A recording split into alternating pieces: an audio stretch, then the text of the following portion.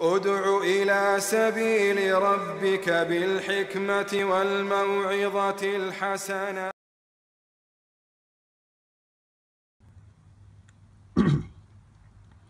Assalamu alaikum wa rahmatullahi wa barakatuh. My beloved brothers and sisters, I, hear, I have here with me مجموع الفتاوى لشيخ الإسلام تقي الدين أحمد ibn تيمية الحراني.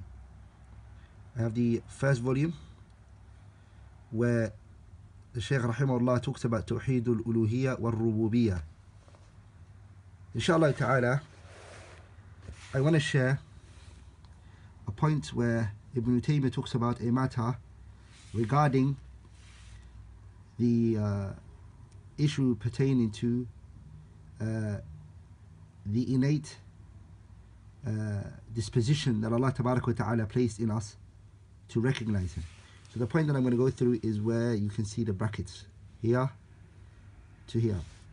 So I was, I was preparing uh, a refutation on the atheist and so I was reading Majmu' al-Fatawa by Shaykh al-Islam Taymiyyah and this is the benefit that I came across so I wanted to share it with you all بإذن الله الكريم Ibn Taymiyyah says as you can see here he says أصل العلم الإلهي he says فطري ضروري what that means is that the basic foundation so he's saying the basic foundation uh, of the knowledge of a maker is innate and necessary.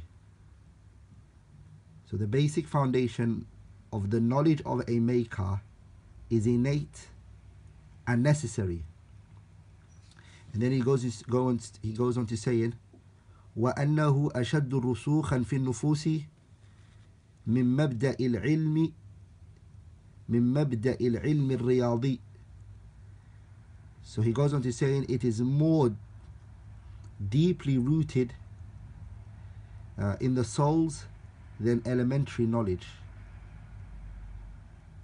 of math such as our saying كقولنا إن الواحد نصف الاثنين.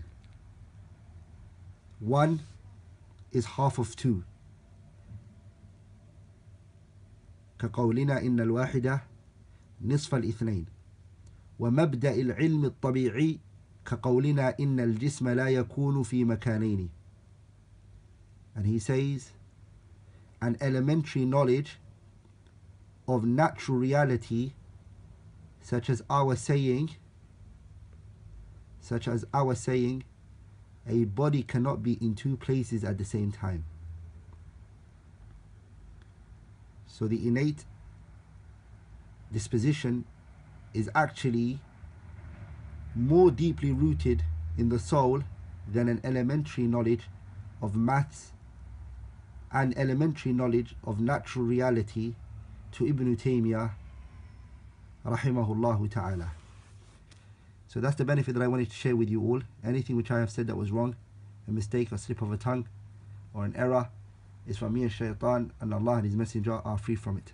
سبحانك اللهم وبحمدك أشهد أن لا إله إلا الله أستغفرك وأتوب إليه